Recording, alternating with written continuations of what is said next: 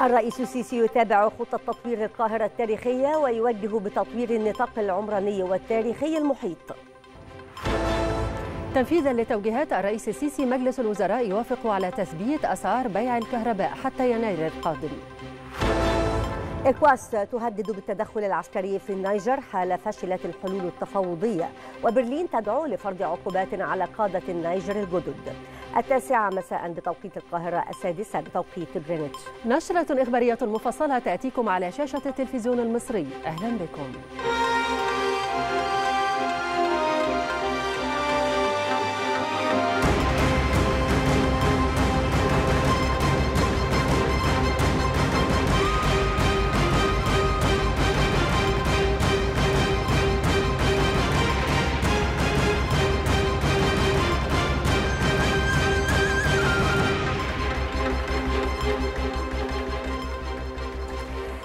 الرئيس عبد الفتاح السيسي مع رئيس مجلس الوزراء مصطفى مدبولي ووزيري التنمية المحلية والتعليم العالي والبحث العلمي وعدد من المسؤولين المعنيين. صرح المتحدث الرسمي باسم رئاسة الجمهورية أن الرئيس السيسي اطلع خلال الاجتماع على الموقف التنفيذي لتطوير منطقة القاهرة التاريخية لا سيما ما يتعلق بربط قطاعات المنطقة بشبكة من المسارات السياحية المتنوعة ومحاور الحركة وتكوين شبكة مساحات خضراء. اجتمع السيد الرئيس عبد الفتاح السيسي مع الدكتور مصطفى مدبولي رئيس مجلس الوزراء. واللواء هشام أمنة وزير التنمية المحلية والدكتور أيمن عاشور وزير التعليم العالي والبحث العلمي.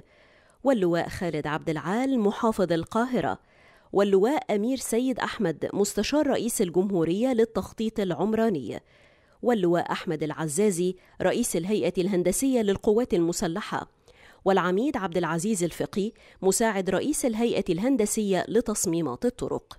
وصرح المستشار أحمد فهمي المتحدث الرسمي باسم رئاسة الجمهورية أن الاجتماع تناول متابعة خطط الدولة لتطوير منطقة القاهرة التاريخية في ضوء ما أصابها على مدار العقود الماضية من تراجع وتزايد للتحديات والصعوبات والمشكلات منها انتشار الأسواق العشوائية وتضرر المباني والمقابر بشدة من المياه الجوفية والتكدس المروري.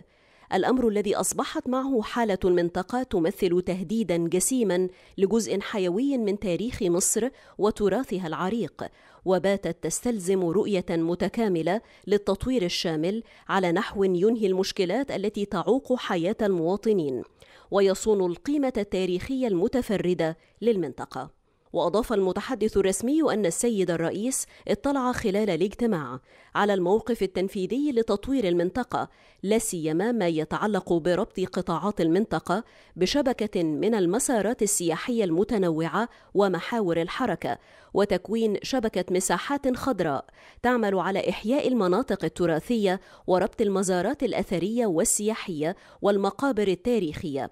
بهدف الحفاظ على التراث بالمنطقة وتعزيزها سياحيا.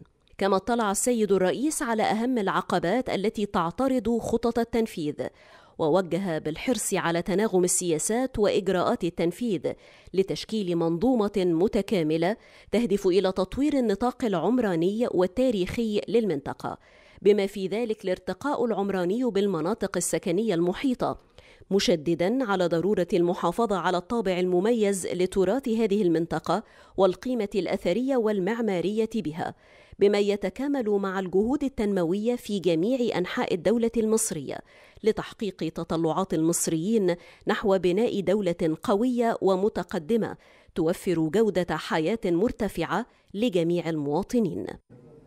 أصدر الرئيس عبد الفتاح السيسي قرارا جمهوريا بتجديد فترة عمل محافظ البنك المركزي حسن عبد الله لمدة عام تبدأ من الثامن عشر من أغسطس الجاري. كما أصدر الرئيس السيسي قرارا بتجديد تعيين الدكتور شريف صدقي رئيسا تنفيذيا لوكالة الفضاء المصرية بدرجة وزير لمدة عام اعتبارا من التاسع عشر من أغسطس الجاري. يتمتع محافظ البنك المركزي حسن عبد الله بخبرة مهنية متميزة ومرموقة. تمتد لأكثر من أربعين عاما تقلد خلالها العديد من المناصب القيادية الهامة وحقق خلالها الكثير من النجاحات حيث كان ضمن الفريق الذي نفذ برنامج الإصلاح المصرفي مطلع الألفية الحالية.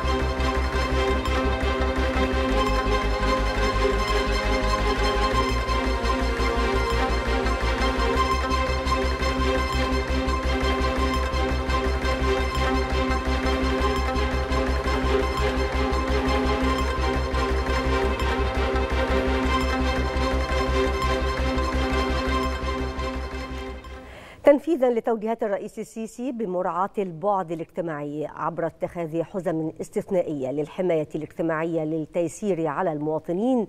وافق مجلس الوزراء في اجتماعه اليوم على تثبيت أسعار بيع الكهرباء المطبقة حاليا ومد إرجاء تطبيق الزيادة المقررة لستة أشهر أخرى حتى الأول من يناير المقبل.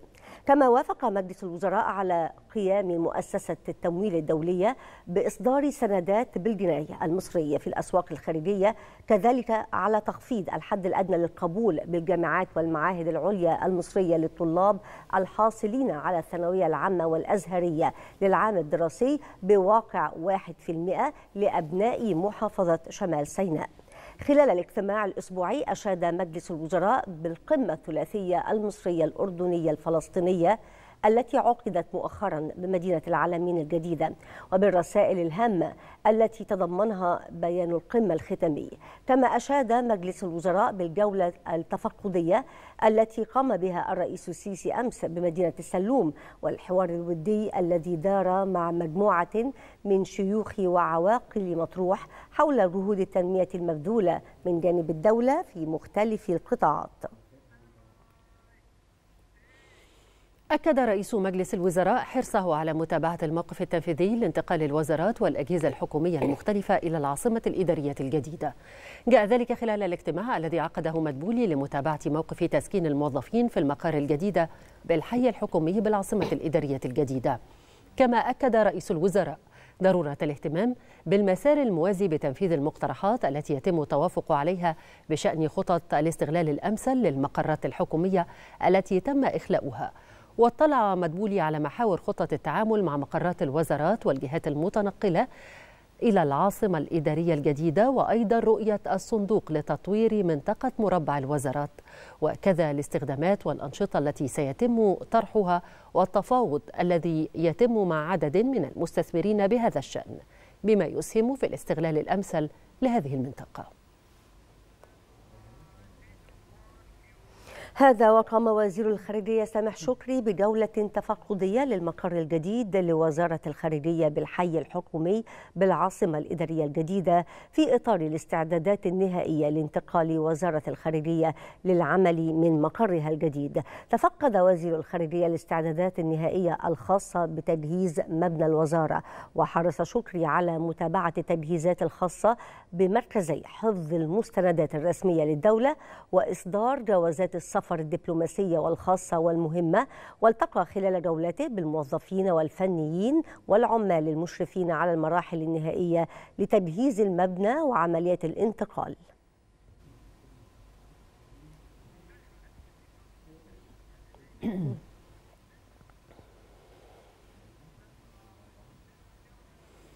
هذا وقد أكد وزير الخارجية سامح شكري أن الانتقال إلى العاصمة الإدارية الجديدة يعد نقلة نوعية في عمل وزارة الخارجية وفي إطار الاعتماد على وسائل حديثة في كل مناحي العمل مؤكدا أن الانتقال يوفر أعلى درجات الأمان لطبيعة عمل وزارة الخارجية.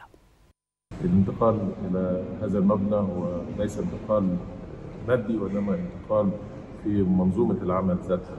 انتقال يعتمد على التحديث والرقمية يوفر أعلى درجات الأمان لطبيعة عمل وزارة الخارجية وأيضا ينقلنا نقلة نوعية في إطار الاعتماد على وسائل حديثة في كل مناحي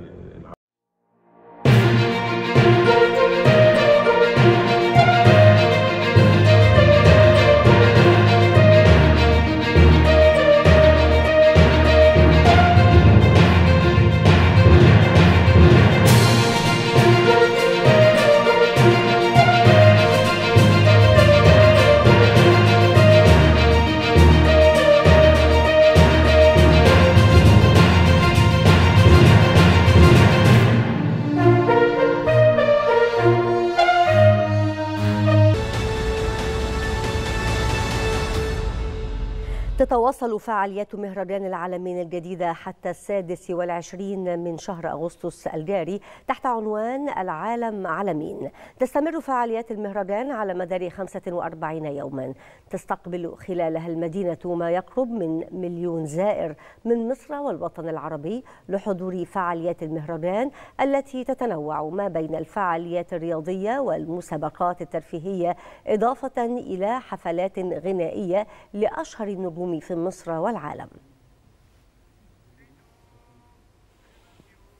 وفي مدينة العالمين الجديدة تواصل الدولة إنشاء شبكة مرافق قوية وصلت فيها نسبة الإنجازات إلى 90% وتتمتع مدينة العالمين الجديدة ببنية تحتية ذكية وتخطيط عمراني متطور. بنية تحتية قوية تتنامى في مدينة العالمين الجديدة منذ أن انطلقت نحو البناء والتعمير حيث شرعت الدولة في إنشاء شبكة مرافق صلبة وصلت فيها نسبة الإنجاز إلى 90% نبدأها بملف الإسكان. المدينة فيها إسكان يخدم جميع ال ال ال ال الإمكانيات لكل الناس.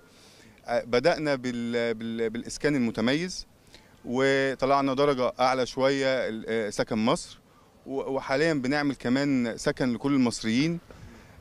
في بقى إسكان متوسط وإسكان فاخر زي الحي اللاتيني وزي ال downtown طبعا بالإضافة للأبراج الشاطئية اللي موجودة ورانا دي. يعني حجم الاستيعاب للوحدات دي وللإسكان بالذات إن شاء الله بإذن الله إحنا مستهدفين 3 مليون مواطن يكونوا خلال 30 2030 موجودين في مدينة العلمين قاطنين الوحدات دي طول السنة. محطة العلمين لتحلية المياه من أهم الإنجازات التي تحققت حيث تنتج 150 ألف متر مكعب يوميا من المياه الصالحة للشرب تكفي لاحتياجات مليون مواطن يوميا بتكلفة إجمالية بلغت 120 مليون دولار وتقوم على تكنولوجيا أوروبية حديثة. إحدى محطات التحلية اللي موجودة في في الساحل الشمالي كله المحطة دي المفروض إن هي بتضخ 450 متر مكعب مية. حاليا إحنا المرحلة الأولى وصلنا ل 150 ألف متر. وهي بتخدم جميع قطاعات المدينة في, است... في احتياجاتنا للمية. الكهرباء والطاقة أولتها الدولة اهتماما كبيرا من خلال دعم محطة كهرباء العالمين القائمة ومحطة الحمراء وتم الانتهاء من المرحلة الأولى من محطة كهرباء العالمين الجديدة وتوصيل وإطلاق الطيارة على عدد ست موزعات لخدمة المشروعات العاجلة التي يتم تشغيلها. إحنا الحمد لله قدرنا نوصل في شغل الكهرباء بالذات إن إحنا يبقى عندنا محطات كهرباء على أعلى مستوى، محطات تخدم المدينة كاملة وبقدرات كبيرة تخدم المدينة. فالحمد لله بالنسبة للكهرباء وللمية وجميع شغل المرافق إحنا الحمد لله واصلين لدرجة إنجاز كبيرة جدا. تتمتع مدينة العالمين الجديدة ببنية تحتية ذكية وتخطيط عمراني متطور يواكب أحدث المعايير الدولية في المجالات كافة. من العالمين الجديدة محمد الخطيب التلفزيون المصري. قال وزير الخارجية السعودي فيصل بن فرحان إن المملكة تتطلع إلى زيارة الرئيس الإيراني إبراهيم رئيسي للمملكة تلبية لدعوة من العاهل السعودي الملك سلمان بن عبد العزيز. خلال مؤتمر صحفي مع نظيره الإيراني أوضح وزير الخارجية السعودي أن سفيري البلدين سيتوليان منصبيهما في السفرتين بعد إعادة فتحها بفضل إنهاء الخلاف الدبلوماسي بين البلدين في مارس الماضي. الماضي واستئناف العلاقات.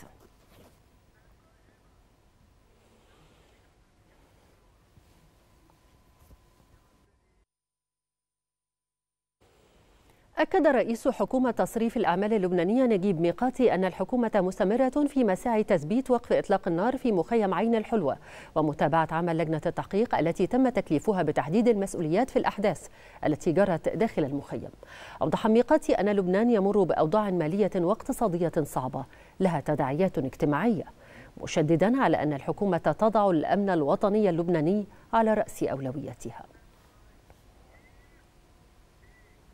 وأكد رئيس حكومة تصريف الأعمال اللبنانية أن لبنان وصل إلى مرحلة اقتصادية صعبة للغاية. خلال مؤتمر صحفي شدد ميقاتي على ضرورة انعقاد جلسة مجلس النواب من أجل إيجاد حلول لمقترحات القوانين الخاصة بخطة التعافي الاقتصادي. معتبرا أنه لا استقرار اقتصادي في لبنان بدون إقرار تلك القوانين. مجلس النواب هي موضوع اقتراحات قوانين بما يتعلق بال خطة التعافي وإعادة هيكلة المصارف والفجوة المالية. هيدي كلياتها بدها حل فورا وإذا لم تحل ولم ينعقد مجلس النواب يعملوها كلياتها نوع من باقة واحدة لكي تقر لا استقرار اقتصادي في البلد.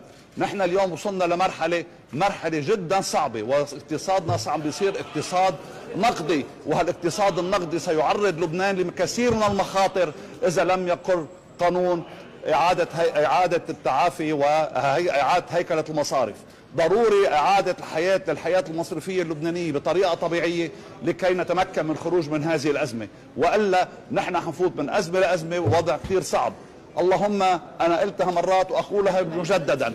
اللهم أنني قد بلغت الوضع صعب جدا. وإذا لم نصل إلى حل فكل واحد يتحمل مسؤوليته. في الأثناء أرجأ مجلس النواب اللبناني جلسته التشريعية التي كانت مقررة اليوم لعدم اكتمال النصاب القانوني اللازم لانعقادها.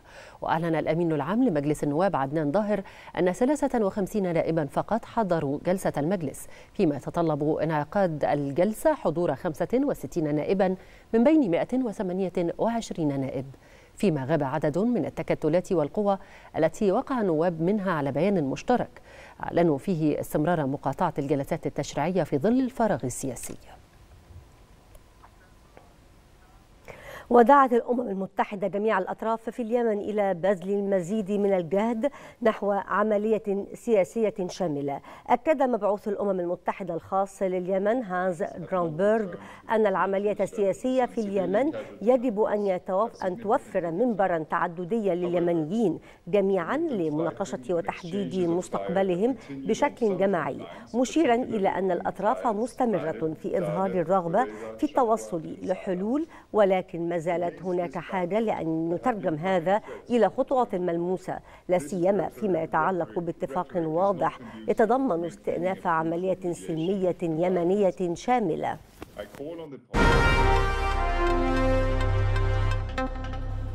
استشهد شاب فلسطيني وأصيبت إحدى موظفات وزارة الصحة برصاص قوات الاحتلال الإسرائيلي خلال اقتحامه مدينة جنين. بشمال الضفة الغربية المحتلة. أدان المجلس الوطني الفلسطيني اقتحام قوات الاحتلال الإسرائيلي لمدينة جنين وتفجير منزل الشهيد الفلسطيني.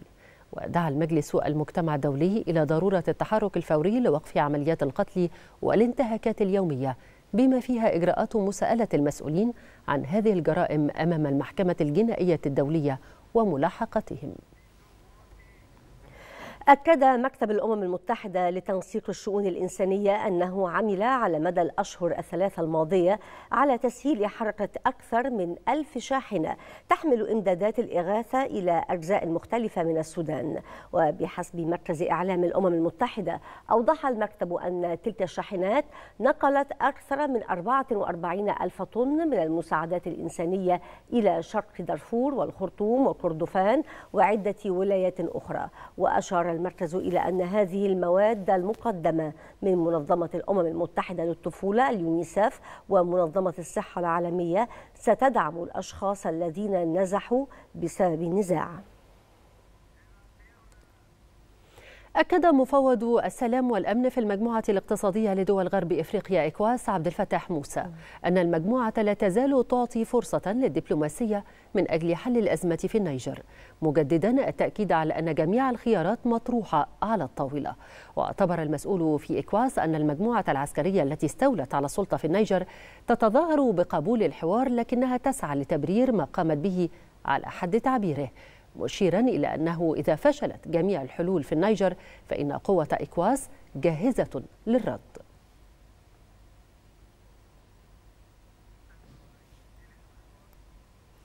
عقد رؤساء الأركان في المجموعة الاقتصادية لدول غرب أفريقيا إكواس اجتماعا في غانا لتنسيق الجهود من أجل تدخل المحتمل في النيجر.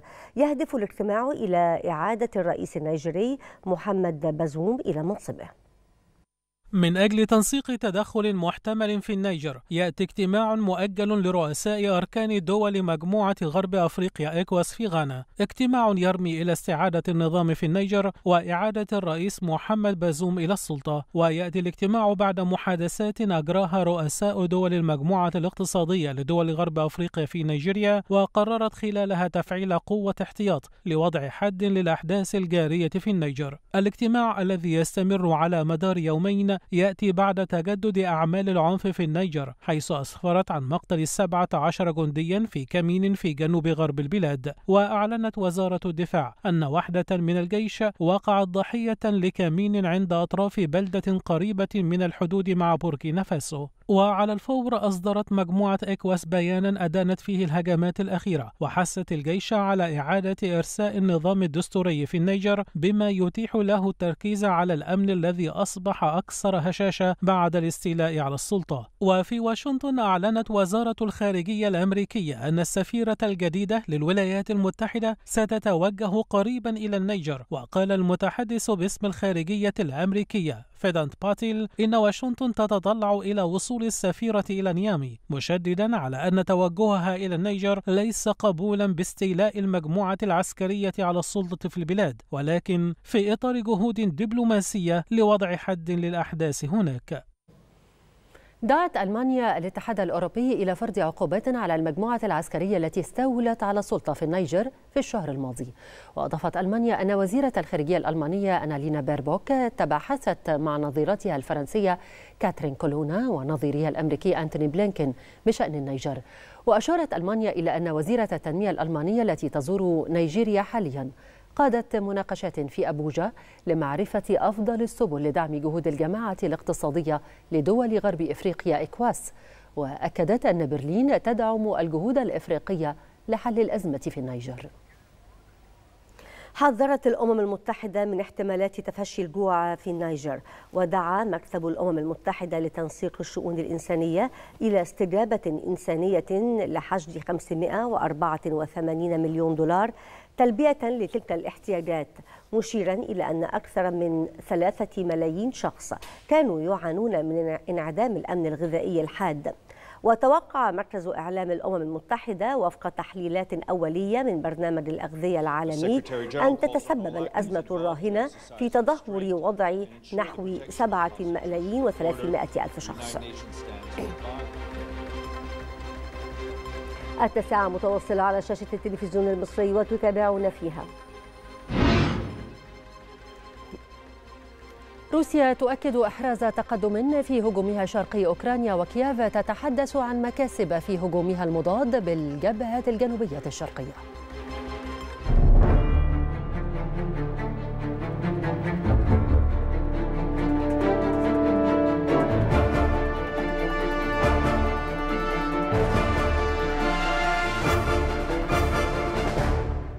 قال الأمين العام لحلف شمال الأطلسي الناتو إن الحلف لم يلحظ أي تغييرات في القوات النووية الروسية مشيرا إلى أنه لا يرى سببا لإعادة النظر في تغيير قواته المماثلة. وخلال مؤتمر بالنرويج أكد الأمين العام لحلف الناتو أن الحلف سيدعم أوكرانيا حتى تنتصر في الحرب وأوضح أن على كييف تحديد شروط السلام معتبرا أن دور الحلف هو دعم الأوكرانيين. Immediately cease its assaults, withdraw all its forces from Ukraine. إلى ذلك أعلنت وزارة الدفاع الروسية أن قواتها حققت هجوما عسكريا ناجحا في منطقة دونسك شرقي أوكرانيا. وفي بيان لها أوضحت الدفاع الروسية أن خسائر أوكرانيا على محور خيرسون بلغت نحو 30 عسكريا خلال اليوم الماضي مضيفة أن القوات الروسية دمرت مركز قيادة ومستودع ذخيرة فضلا عن تدمير 18 مسيرة أوكرانية في مناطق عدة بأوكرانيا.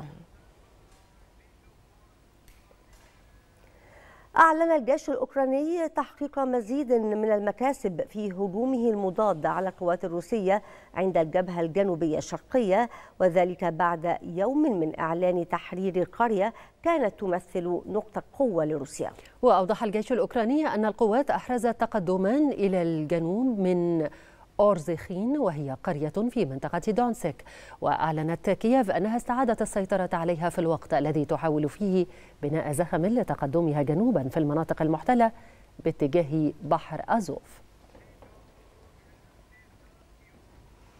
أعلنت وزارة الدفاع الروسية إحباط هجوم بطائرة مسيرة أوكرانية على الأراضي الروسية. وذكرت وسائل الإعلام الروسية أن طائرة مسيرة أسقطت فوق منطقة بلغرود في جنوب روسيا. كانت وزارة الدفاع الروسية قد أعلنت مطلع الأسبوع الجاري أن الدفاعات الجوية أسقطت ما لا يقل عن أربع طائرات مسيرة أوكرانية فوق منطقتي بلغرود وكارسيك روسيتين هذا وقد زادت الضربات الجوية بطائرات مسيرة داخل العمق الروسي. منذ تدمير طائرة مسيرة فوق الكرملين في أوائل مايو الماضي.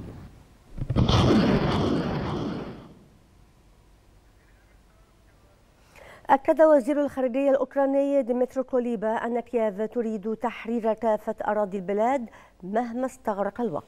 وفي تصريحات له أوضح كوليبا أن أوكرانيا تلتزم بعدم استخدام الأسلحة الغربية في استهداف أراضي الروسية مضيفا أن موسكو تسيطر حاليا على نحو 18% من الأراضي الأوكرانية. ولفت كوليبا إلى أن كييف ستبذل جهدا على المدى الطويل لتحسين العلاقة مع الدول الإفريقية. This, uh, this gratefulness is unquestionable. Uh, we completely disagree with the policy line uh, Poland has taken. من جانبه قال الرئيس البيلاروسي ألكسندر لوكاشينكو أن الرئيس الروسي فلاديمير بوتين لا يحاول دفع بلاده للانضمام إلى الحرب في أوكرانيا. وأبدى لوكاشينكو اعتقاده بأن روسيا قد حققت بالفعل أهدافها من خلال عملياتها العسكرية على أوكرانيا مشددا على ضرورة أن يجلس الطرفان على طاولة المفاوضات وأن يكون على استعداد لمناقشة جميع القضايا بما في ذلك مستقبل شبه جزيرة القرم والأراضي الأخرى التي ضمتها موسكو.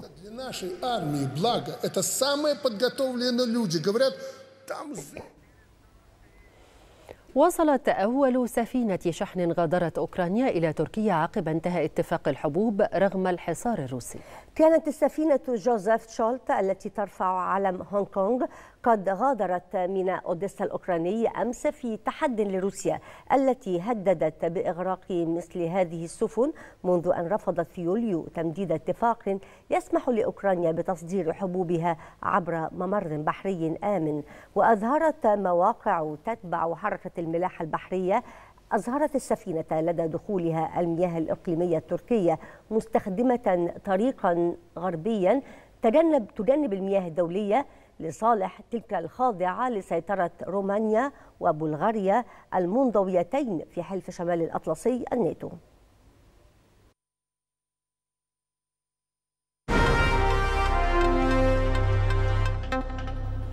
دعت الأمم المتحدة أرمينيا وأذربيجان إلى تسهيل إيصال المساعدات وفقا لمبادئ القانون الدولي الإنساني. جاء ذلك خلال اجتماع طارئ لمجلس الأمن الدولي وطلبت فيه أرمينيا عقده بشأن ممر لاتشين حيث أوضحت أرمينيا أن حصار أذربيجان للممر تسبب في تضاؤل حجم الغذاء والدواء والكهرباء.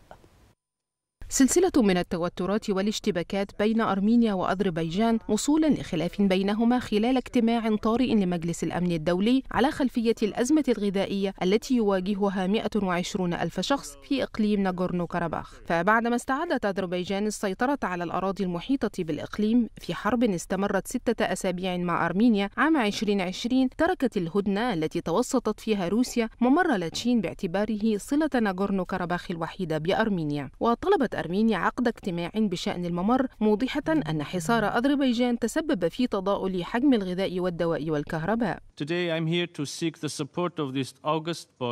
الحصار تسبب في غياب النشاط الاقتصادي بناغورنو كاراباخ كما أن آلاف السكان عاطلون عن العمل والمتاجر باتت فارغة ويقف كبار السن والنساء والأطفال في صفوف طويلة ليتمكنوا من شراء الخبز والفواكه والخضروات فضلا عن انقطاع الكهرباء. أذربيجان من جانبها بررت الوضع بأنها أقامت نقطة تفتيش على حدودها مع أرمينيا وأضافت أن الممر مخصص بشكل أساسي لحركة المواطنين والمركبات والبضائع البضائع. الأمم المتحدة دعت الطرفين إلى تسهيل إيصال المساعدات وفقا لمبادئ القانون الدولي الإنساني. وخلال اجتماع لم يصدر عنه بيان، حث العديد من أعضاء مجلس الأمن أذربيجان على إعادة فتح الطريق إلى الممر فورا، مشيرة إلى أوامر محكمة العدل الدولية الخاصة بهذا الصدد. أعلن جهاز الأمن الاتحادي الروسي إحباط محاولة هجوم على محطات اتصالات في بلدة زيلينجارسك المشهورة بتخصيب اليورانيوم في منطقة كراسنويارسك في سيبيريا. وذكرت وسائل إعلام روسية أن الجهاز احتجز شخصين ينتميان إلى إحدى الجماعات التي تصنفها موسكو بالمتطرفة. كان يخططان لتفجير محطات اتصالات.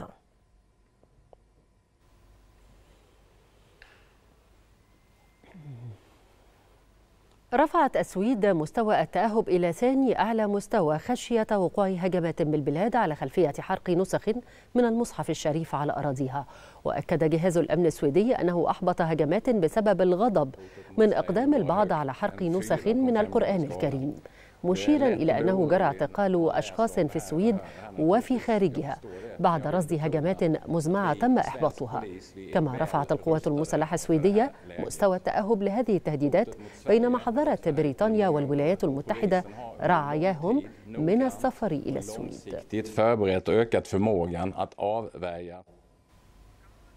أعلن جهاز المخابرات الكوري الجنوبي أن كوريا الشمالية قد تحاول إطلاق قمر صناعي للتجسس في أواخر أغسطس الجاري أو أوائل سبتمبر المقبل.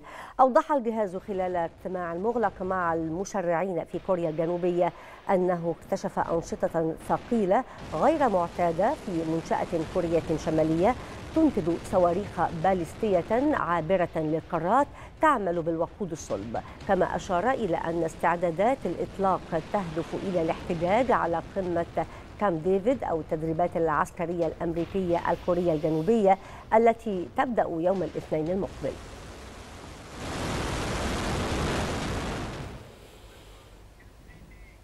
استثنت الصين كندا من قائمة الدول التي يسمح للمجموعات السياحية الصينية بزيارتها لقضاء العطلات وفق ما أفادت سفارة الصين لدى أوتاوا.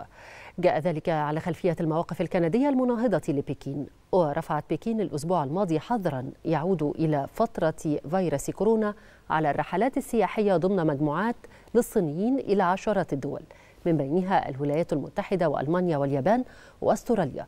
لكنها تجاهلت كندا ولم تدرجها على القائمة.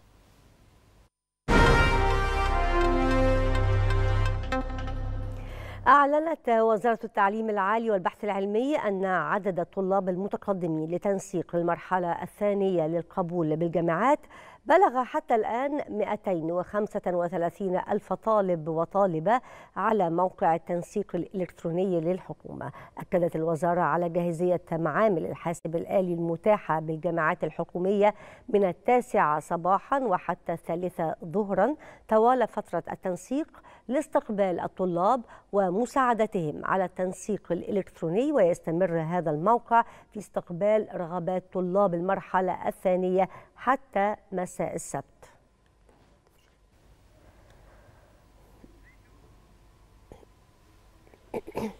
في إطار جهود التحالف الوطني للعمل الأهلي التنموي لخدمة الفئات الأولى بالرعاية والأكثر استحقاقا بكافة محافظات الجمهورية نظمت مؤسسة راعي مصر للتنمية إحدى كيانات التحالف احتفالية كبرى بمقر المؤسسة بالقاهرة لتسليم 25 عروسة من الفتيات المقبلات على الزواج من الفئات الأولى بالرعاية عددا من الأجهزة المنزلية والكهربائية. وفي محافظة البحيرة أطلق بنك الشفاء المصري عضو التحالف الوطني قافلة طبية تضم مختلف التخصصات للكشف والمتابعة وتقديم العلاج بالمجان لأهالي قرية المعدية بمركز إيدكو.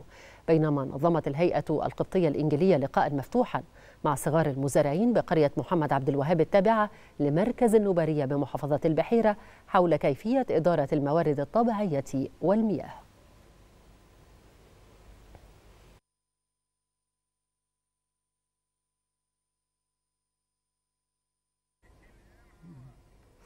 هذا وقد انطلقت أولى فعاليات القوافل الطبية المتخصصة والشاملة بقرية المعدية بمحافظة البحيرة لتقديم الخدمة الصحية المتميزة ورفع الأعباء عن كاهل المواطنين لا سيما محدودي الدخل. وقعت القافلة الكشف على 800 مواطن من مرضى العيون بنطاق القرية والقرى المجاورة و1200 مواطن في ست تخصصات أخرى.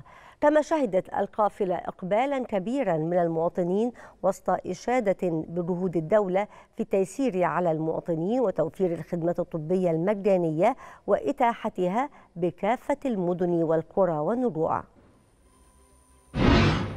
القافلة الطبية بتغطي كافة التخصصات منها يومين رمد وتخصصات بعض التخصصات الشاملة زي الجلدية والأنف والأذن والصدرية والعظام والأطفال.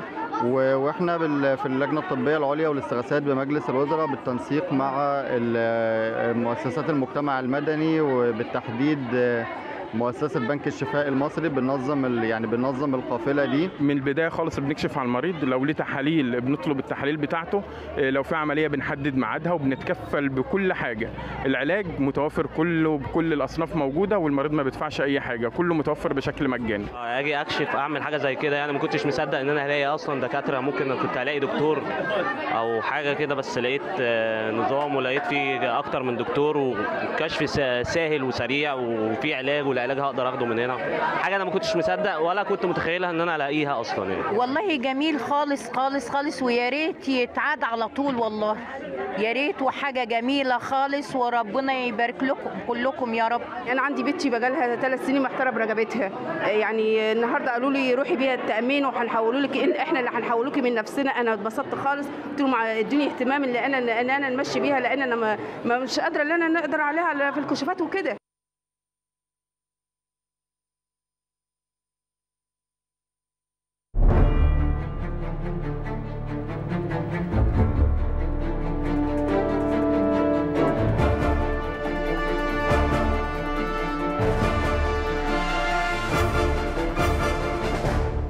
انطلقت أعمال القافلة الطبية بقرية النصر جنوب سفاجة البحر الأحمر ضمن المبادرة الرئاسية. حياة كريمة. قامت القافلة بتوقيع الكشف وصرف العلاج على حوالي 67 حالة بمختلف التخصصات الطبية ومنها إجراء الفحص المعملي والأشعة والسونار. كما تم إجراء 17 حالة كشف مبكر عن الأمراض المزمنة. وتضم القوافل عيادات الجراحة والبطنة والأطفال والأسنان والنساء والتوليد ومعمل الدم والطفيليات وصيدلية تضم مئات الأصناف من الأدوية التي يتم صرفها بالمجان للمواطنين.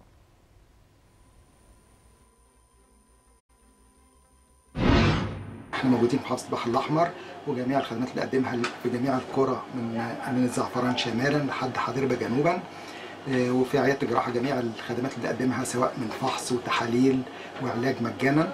وإحنا القافلة فيها تخصصات متعددة وجميع التردد المرضى المترددين على العيادات جميع الخدمات مجانا. معمل الدم بتقدم خدمات متنوعة للمترددين إحنا بنكشف على المترددين السكر وكوليسترول وترايجليسرايد واختبار حمل وإحنا نجحنا الفترة اللي فاتت بتواجدنا المستمر في في مدينة سفاجة إن إحنا نكشف مبكر على الانيميا وعلاج خاصة الأطفال الصغيرين وكشف برضو الأنيميا للحوامل ونجحنا فترة إن إحنا بقدر الإمكان إن إحنا نحد من مضاعفات السكر مرض السكر بتحليل مستمر للشعب ودايما التوعيه للشعب دايما بأهمية التحاليل.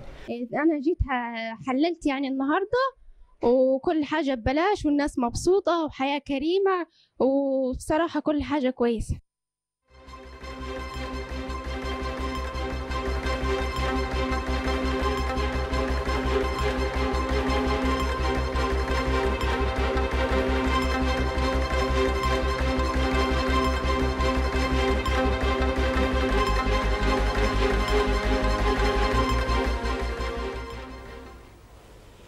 واصلت القافلة العلاجية التي أطلقتها مديرية الصحة بأسوان أعمالها لليوم الثاني على التوالي في مركز كومومبو وذلك ضمن مبادرة حياة كريمة تتكون القافلة من عشرة تخصصات مختلفة وتم توقيع الكشف الطبي على 1447 شخصا بالمجان وتم تحويل العديد من الحالات للمستشفيات التابعة لوزارة الصحة بأسوان لإجراء العمليات الجراحية وأشعة الرنين المغناطيسي. نستقبل حالات الجراحة في عيادة الجراحة وبنشخصها وبنكتب لها الوصفات العلاجية المحتاجها وأي حالات محتاجة عمليات بنحولها لمستشفيات مديرية الشؤون الصحية المحيطة بالمكان والنهاردة في إقبال شديد على القف... على القافلة. نشكر السادة المسؤولين وزارة الصحة ومديرية الصحة باسوان بحضورهم إلى قرية الكاجوج بالقافلة الطبية والتي تتكون من جميع الأطباء والأخصائيين. وقمنا بالكشف دكتور الباطنة ودكتور العظام والتحاليل الطبية. وعليه إحنا بنشكر كل المسؤولين عن وزارة الصحة في مستشفى الكجوج وإن شاء الله يبارك فيهم وخليهم. وينصرهم ويطول عمرهم واخذنا العلاج كله ببلاش. جيت الوحدة الصحية القافلة الطبية. وبسم الله ما شاء الله حاجة حلوة كثير حاجة كويسة يعني. لا دفعنا كثير ولا قليل واخذت العلاج. وإن شاء الله ربنا يأخذ باليد. والحمد لله وبارك لنا في حكومتنا فيها يعني الحمد لله فيها جميع التخصصات. إيه وشايفين إقبال كتير يعني ستات وجمهور وشباب وكله يعني من من نفس القرية. وإحنا بنشكر يعني المسؤولين إن هم يعني شاركوا في الموضوع ده وإن هم بيهتموا بالقرية. عبر أهالي قرية البدرمان وتوابعها بمركز دير مواس في أقصى جنوب محافظة المنيا عن فرحتهم الكبيرة بتشغيل وافتتاح المجمع الخدمي لتقديم أفضل الخدمات للمواطنين في سهولة ويسر ضمن المبادرة الرئاسية لتطوير الريف المصري. حياة كريمة. يضم المجمع الخدمي في القرية مركزا تكنولوجيا ومكاتب للسجل المدني والشهر العقاري والبريد والتضامن الاجتماعي والتموين كما يضم مقرر المجلس الشعبي المحلي ورئاسة الوحدة المحلية وقاعة اجتماعات. ويعمل المجمع على تيسير تقديم الخدمات لكافة المواطنين بالقرى التابعة للوحدة المحلية لقرية البدرمان والعزب والتوابع وتقليل التكدس على مكاتب الخدمات في المدن.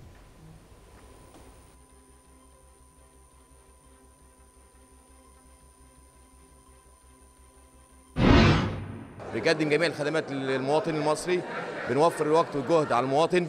بنحاول بقدر الإمكان إن إحنا نوفر كل سبل الراحة للمواطن بدل اللي يشيل مشقة الانتقال إلى المدينة بيجي كل حاجة موجودة هنا من سجل مدني شهر عقاري تضامن اجتماعي. المركز الخدمي ده فيه بيخدم جميع القرى المجاورة حوالينا الناس كبار السن والناس الصغيره اللي عايزة تعمل بطايق وفي كل الخدمات يعني تموين وشهادة ميلاد وشؤون اجتماعية. فعلا طفرة حسينا بيها في الريف المصري. بما فيه كان المجمع الخدمي يشمل سجل مدني وشهر عقاري في الريف المصري. ما كناش نشوف شهر عقاري وسجل مدني آه بدأت الخدمات كلها في مكان واحد. هيريح شوية كاهل المواطن المصري الريفي البسيط آه بما فيهم التنقل ما بين الهيئات. هيبقى في مكان واحد بس. والله بصراحة المبنى ده وفر لنا وقت وجهد كتير. بالنسبة للشؤون من كنا بنتعب على ما على ما نوصل للموظفين لكن هنا بصراحة المبنى ريحنا عن الاستعلام سهل جدا. ووفر لنا الوقت كتير. مجمعات خدمية تعتبر باكورة تسهم في تطور الخدمات المقدمة للمواطنين وتوفر الوقت والجهد والمال وأيضا تتناغم وتتسق مع توجهات الدولة المصرية للتحول الرقمي وأيضا الفصل ما بين مقدم الخدمة وطالب الخدمة. ونتحول في نشرتنا إلى أخبار المال والأعمال. والتفاصيل مع فاطمة خليل. إليك فاطمة. شكرا إلهام نمر. شكرا هبة حسين. وأهلا بكم مشاهدينا وجولة اقتصادية جديدة.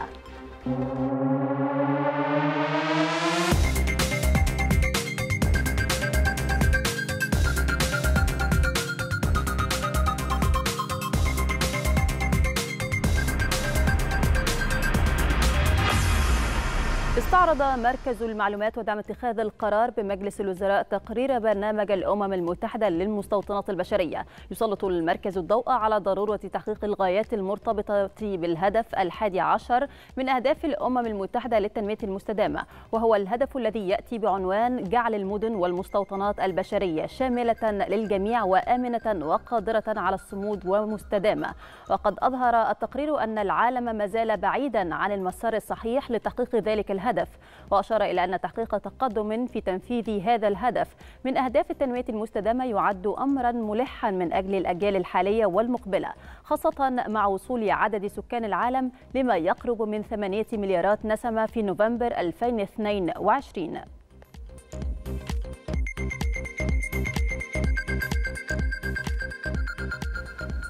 شهد وزير التجارة والصناعة أحمد سمير ووزير البترول طارق الملا توقيع بروتوكول تعاون لمدة خمس سنوات بين الجهاز التنفيذي للمشروعات الصناعية والتعدينية التابع للوزارة والهيئة العامة للمنطقة الاقتصادية للمثلث الذهبي. بشأن تقديم الجهاز لخدمات استشارية للأعمال الهندسية والاشتراطات الفنية التي تطلبها الهيئة. يأتي هذا الاتفاق في إطار حرص الحكومة على تقديم كافة أوجه الدعم لمشروع المثلث الذهبي باعتباره من أهم المشروعات القومية الكبرى التي تخدم منطقة جنوب مصر وتعتمد على الثروات التعدينية الهائلة للمنطقة بالإضافة لما تتمتع به من مقومات التنمية المستدامة والموقع الاستراتيجي المتميز.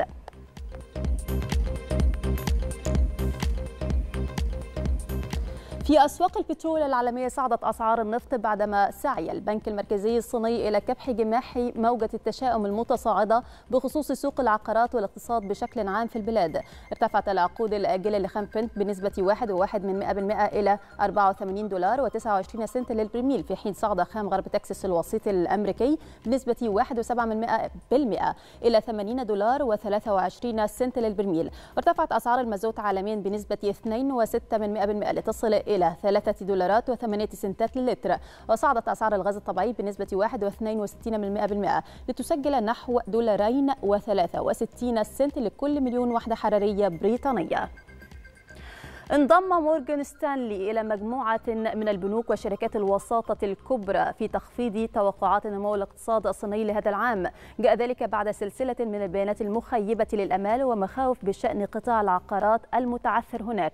وخفض بنك جي بي مورغان هذا الأسبوع توقعات النمو الناتج المحلي الإجمالي في الصين للعام الجاري إلى 4.8 من 10% من 5% بينما خفض باركليز التوقع إلى 4.5 من 10%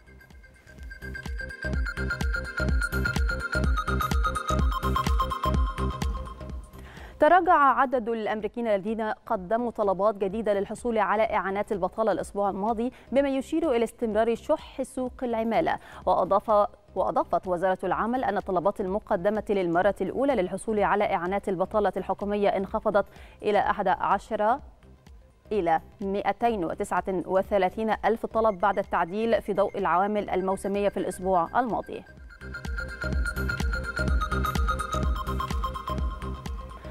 أكد التقرير الصادر عن منظمة مؤتمر الأمم المتحدة للتجارة والتنمية أنكتاد أن الاقتصادات الأفريقية يمكن أن تساهم بشكل كبير في سلاسل الإمداد الدولية عبر الاستفادة من مواردها الهائلة من المواد التي تحتاجها قطاعات التكنولوجيا المتقدمة وأسواقها المتنامية وأشار التقرير الخاص بالتنمية الاقتصادية في أفريقيا إلى أن خلق بيئة مواتية للصناعات التكنولوجية سيساعد في رفع الأجور التي يقدر أدنى معدلاتها ب 220 دولار شهريا. أكد التقرير حاجة القارة الأفريقية لمزيد من الاستثمارات في مجال الطاقة المتجددة للمساعدة في سد فجوة الاستثمار الكبيرة في هذا المجال.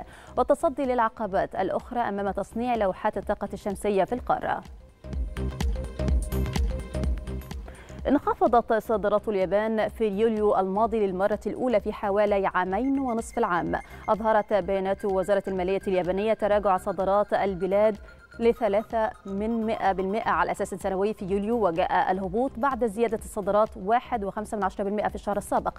أظهرت بيانات الوزارة تراجع الواردات ثلاثة عشر وخمسة من عشرة بالمئة في عام حتى يوليو الماضي مقارنة مع متوسط التقديرات بتراجعها أربعة عشر وسبعة من عشرة بالمئة.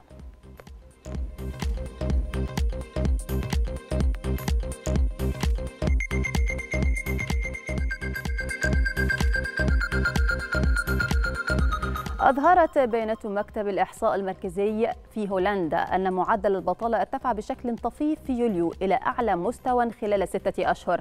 ارتفع معدل البطالة المعدل موسميا من جانب منظمة العمل الدولية للفئة العمرية 15 و75 عاما إلى 3.6% في يوليو من معدل مستقر في يونيو بلغ 3.5% في نفس الشهر من العام الماضي بلغ معدل البطالة 3.6% أيضا وكان هناك 300 362 ألف عاطل في يوليو بارتفاع من 353 ألف قبل شهر.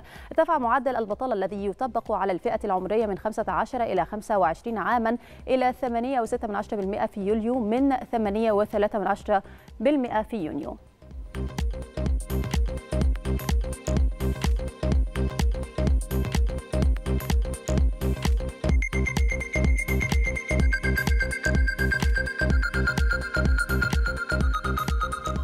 مشاهدينا نهاية هذه الجولة الاقتصادية عودة مرة أخرى لإلهام وهبة لاستكمال ما تبقى من التسعة شكرا لك فاطمة. أمرت السلطات الكندية سكان مدينة يالونايف في أقصى شمال كندا بالمسارعة إلى إخلائها وسط تحذيرات من أن حرائق الغابات قد تمتد إليها بحلول نهاية الأسبوع. وقال وزير البيئة في المناطق الشمالية الغربية الكندية إن وضع حرائق الغابات اتخذ منعطفا آخر نحو الأسوأ وأمر وزير البيئة سكان المدينة البالغ عددهم نحو 20 ألف نسمة بمغادرتها بحلول ظهر الجمعة مشيرا إلى إتاحة طريق سريع واحد فقط مفتوح باتجاه الجنوب وترتيب رحلات جوية تجارية وعسكرية.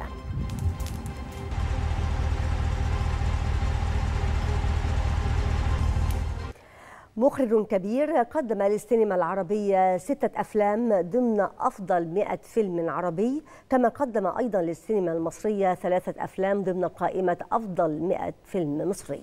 استطاع عبر أعماله المختلفة حفر علامات فارقة في تاريخ السينما مثل أفلام شيء من الخوف ثرثرة فوق النيل حبيبي دائما.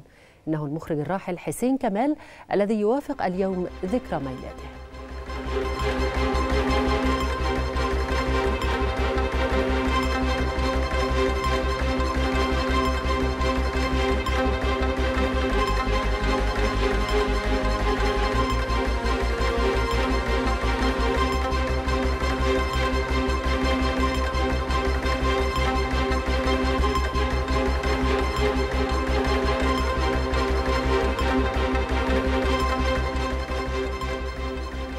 والآن مع أخبار الطقس مرة ثالثة وأخيرا نعود فيها إلى فاطمة خليل. تفضل. شكرا إلهام شكرا هبة وأهلا بكم مشاهدينا ووقفة أخيرة مع أحوال الطقس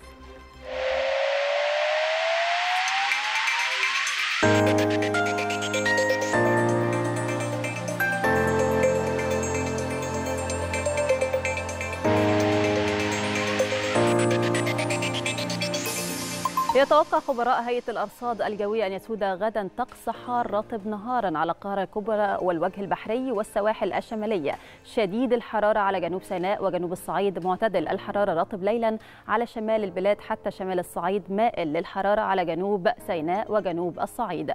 وفيما يلي بيان درجات الحرارة المتوقعة غدا على بعض مدن ومحافظات الجمهورية والبداية دائما من القاهرة العظمى 33 صغرى 25 اسكندرية 31 23 مطروح 30 24 بورسعيد 31 25 إسماعيلية 34 23 وجوها حار. بالنسبة للسويس 33 24 العريش 32 24 طابة 37 25 شرم الشيخ 41 29 الغردقة 38 28 وجوها شديد الحرارة. بالنسبة للأقصر 41 26 أسوان 43 28 الوادي الجديد 40 24 شلاتين 40 30 حلايب 34 28 وجوها حار. والآن نستعرض معكم درجات الحرارة المتوقعة غدا في عدد من العواصم والمدن العربية والعالمية.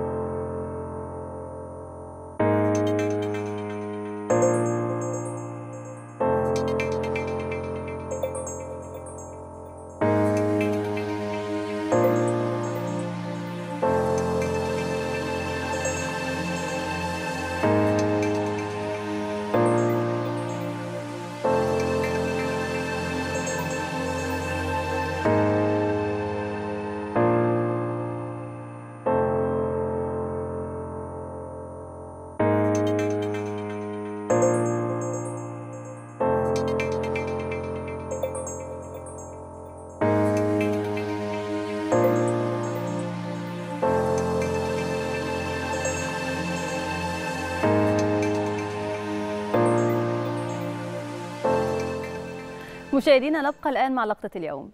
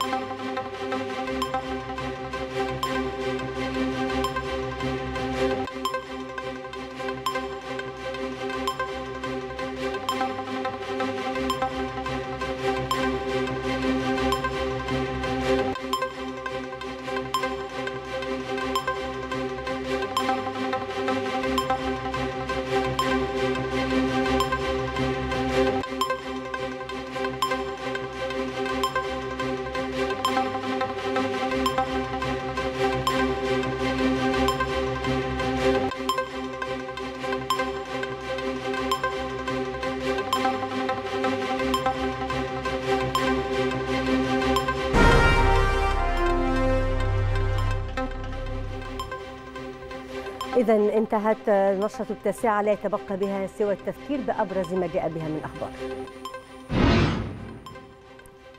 الرئيس السيسي يتابع خطط تطوير القاهرة التاريخية ويوجه بتطوير النطاق العمراني والتاريخي المحيط. تنفيذا لتوجيهات الرئيس السيسي مجلس الوزراء يوافق على تثبيت أسعار بيع الكهرباء حتى يناير المقبل. إيكواس تهدد بالتدخل العسكري في النيجر حال فشلت الحلول التفاوضية وبرلين تدعو لفرض عقوبات على قادة النيجر الجدد.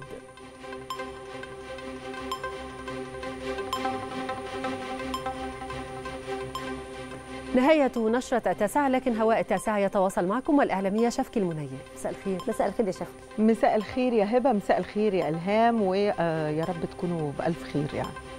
يا رب. إحنا الحمد لله كويسين. انت عاملة إيه؟ ها تمام الحمد لله. عارفة خلاص يعني. منتصف الصيف كده أغسطس كده يعني تكلمينا لما عن الألوان اللي متالقه وال ده من بعد ما عندكم المبهجة وألوان. الصيف و- والشكل بنحاول. المعتادة يعني. بنحاول يعني. عارفة أنا لما بن- بنوصل لمنتصف كده أغسطس بحس إنه عارفة اللي يلحق بقى يكمل الصيف و... واللي يلحق يخلص يعني يعني تمام بس الجو حلو طول ما الجو حلو تمام. دايما يا شفكي والله تمام حلقة موفقة هبة كان عيد ميلادك امبارح كل سنة وانت طيبة وانت وبألف أول. امبارح زي عمرو قولي المعلومة صح سمحت. كل سنة وانت طيب وانتي طيبة وانت وبألف طيبة وبألف شكراً. خير دايما يعني ميرسي يا شفكي. بشكرك يا هبة بشكرك يا إلهام ودايما بالتوفيق يعني بنات الجميلات في التلفزيون المصري وصناع. نشرة التاسعة أشكركم حلقة. شكرا جزيلا مشاهدينا الكرام اسمحوا لنا الآن نبدأ التاسعة. تفضل